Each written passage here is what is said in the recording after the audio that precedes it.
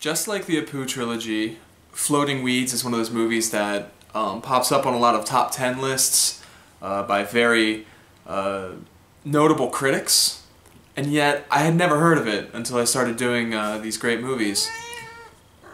Luna hasn't heard of it either. Um, but unlike the Apu trilogy, I wasn't a huge fan. Um, it might just be me. I'm, I'm not a huge fan of um, the Japanese filmmaking like from that era. Like the Kurosawa films I've seen were all right to me, um, and I, this is the first I've seen of uh, Ozu, who's the this director, um, and it was it was fine. I understand why it's on these lists. It just didn't appeal to me. Um, it tells the story of a man who runs an acting troupe.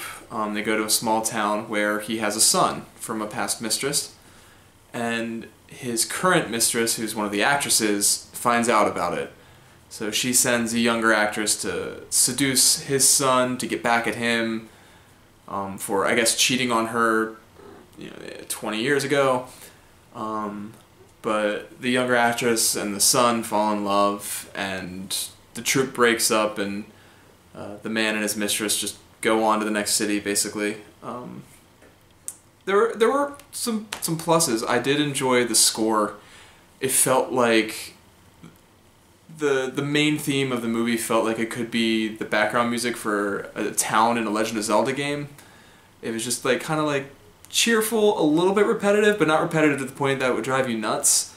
Um, but enough that it, it, was good background music. Like I liked the score. The score was great, and um, there were some scenes with some of the younger actors. Um, when they first get to the town, uh, a few of the actors go around and they're handing out flyers to get people to come to their show.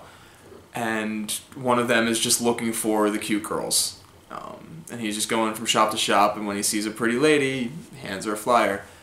And then at opening night of the show, they're peeking through the curtain at intermission looking for the cute girls, see if they showed up. And I'd be lying if I said that we didn't do the same thing when I used to go on tour with my college a cappella group. We would get to the town, uh, rehearse a little bit, eat, do the show, and at intermission during the show, we'd sit down. Did you see that girl in row three? Yeah, that girl in row three. Um, this is before I met Cody. Mom. um, so like I, I, I, I definitely related to those guys a little bit, but that, that was like kind of like a B or C story in the movie, and that, that wasn't the focus. Um, and that was what interested me. It was like I wanted to see what life was like for these traveling actors, being an actor myself, and having done a little bit of traveling in college, like on tour with the group.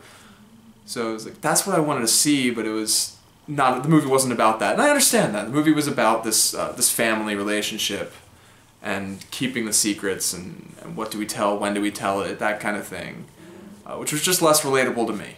Um, unless Dad, if you're watching this, you have something you need to tell me.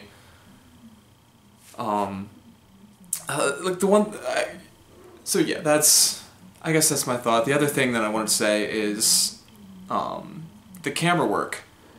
There is not one single moving shot in this movie. Every single shot is static, and that's not a problem per se. Um, it's just, I I don't mind moving cameras.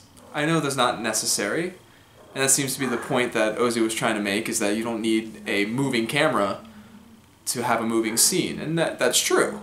You don't, but I don't mind a little bit of variety, you know? It's seeing the same still frames um, for a two-hour film, just, it gets old to me. Maybe that's just my generation, um, and I want a lot of flashing lights and loud noises, but it's it was just it was still.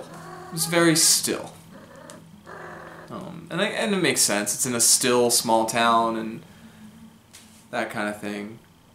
Just it just didn't appeal to my senses, I guess. Um, to to be fair though, I was expecting to like it less than I did.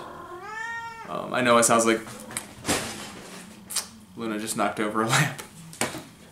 Ugh. Dummy. I know it sounds like I'm being very negative about this movie, um, but I thought I would be more negative. when I, I first read a synopsis, I was like, "This is not. I'm gonna not like this," and I found myself enjoying scenes. Like it was, it wasn't as bad as it could have been.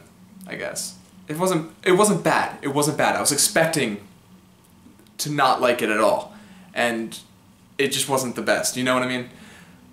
Like middle ground for me. Uh, so that's all I got to say about floating weeds. Tomorrow, I'm looking at a uh, documentary. Uh, speaking of Luna being a monster today, a documentary about pet cemeteries called Gates of Heaven. Um, so I've been looking forward to this one for a while, and I'll talk about it tomorrow. Like, share, subscribe, comment below, and I'll see you tomorrow.